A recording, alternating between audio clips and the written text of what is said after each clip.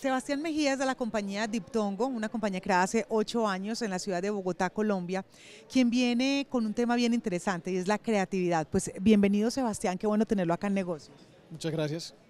Cuéntenos inicialmente por qué Salvador, su hijo de tan solo ocho meses, viene dándole un curso intensivo de creatividad. ¿Qué es lo que le está enseñando?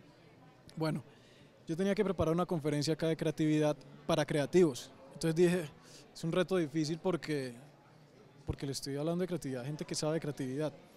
Entonces, para mí la creatividad no tiene, a diferencia de ciencias exactas como las matemáticas, no hay nada escrito.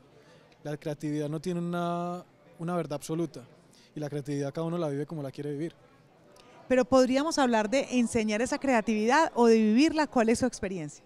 Bueno, lo que pasa es que yo pienso que la creatividad no se enseña, la creatividad es una experiencia y se vive. Y yo llevo viviendo esa creatividad, esa experiencia durante ocho meses con mi hijo Salvador. ¿Por qué? Porque Salvador es una persona que viene con la mente virgen, o sea, viene con la mente intacta.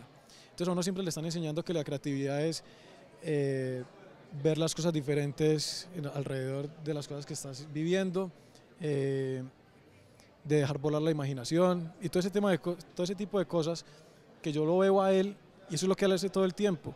Si yo le muestro este micrófono a Salvador y le digo que es un micrófono, no me va a entender absolutamente nada. Él está viviendo ese micrófono de una manera como la interpreta y como la está sintiendo. Entonces se vuelve algo más sensorial.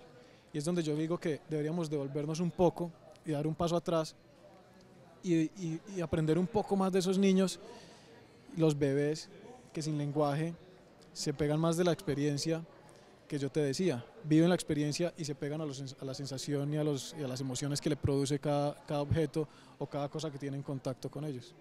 Usted trabaja en, postproducción. ¿Cómo generar esa creatividad en esos procesos precisamente de postproducción en estas organizaciones?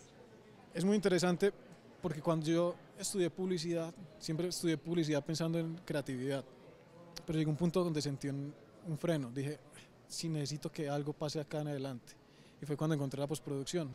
¿Y cómo intervenir esa realidad desde la postproducción? ¿Qué es lo que se puede hacer en ese momento, digámoslo, del trabajo que se está realizando desde la publicidad, desde el marketing?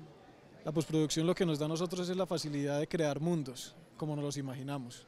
Entonces somos como unos dioses de nuestro propio mundo. ¿Por qué?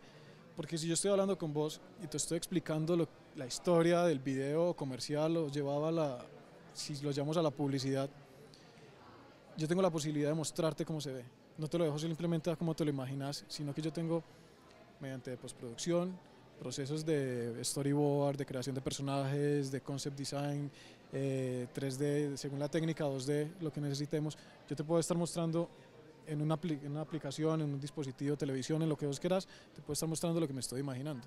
Entonces creo que esa es la ventaja de la postproducción y lo que nos lleva a un siguiente paso. Sebastián Mejía, aquí en este encuentro iberoamericano, Festival Iberoamericano de Marketing y Publicidad FICE. Vamos a hacer entonces un recorrido y vamos a encontrarnos con más de los conferencistas que vienen a contarnos sobre marketing y publicidad a los empresarios y empresarias. Muchas gracias. Dale, gracias a vos.